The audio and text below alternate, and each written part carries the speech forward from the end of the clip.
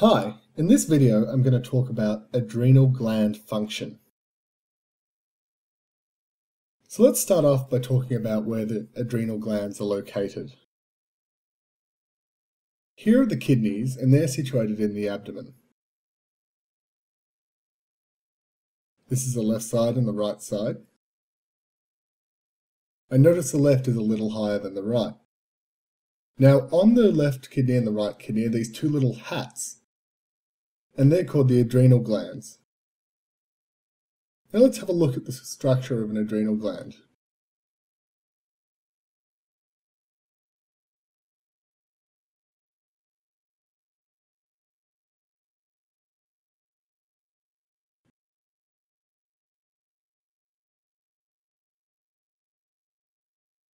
The adrenal gland is made up of three layers of cortex and then an inner medullary layer. The most outer layer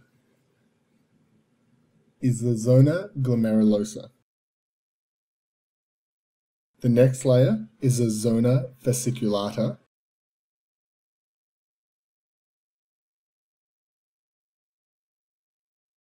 The third layer is the zona reticularis.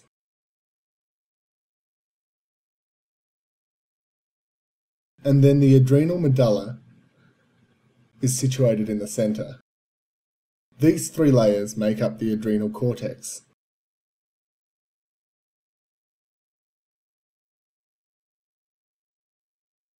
Now I want to have a closer look at a section through the adrenal gland.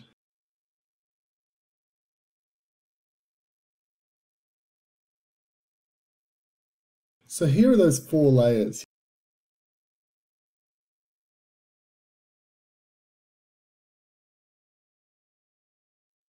I'll just label them G, F, R, and M. Now they each produce different hormones. Now the zona glomerulosa produces aldosterone. The fasciculata produces cortisol. The reticularis produces sex steroids. And the medulla produces epinephrine and norepinephrine, or adrenaline and noradrenaline. That's the same thing.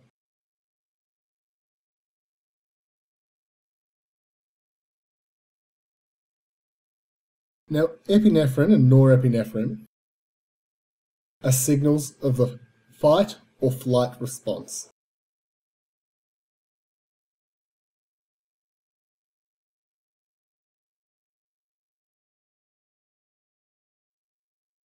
The sex steroids are important for reproduction. Cortisol is a stress signal.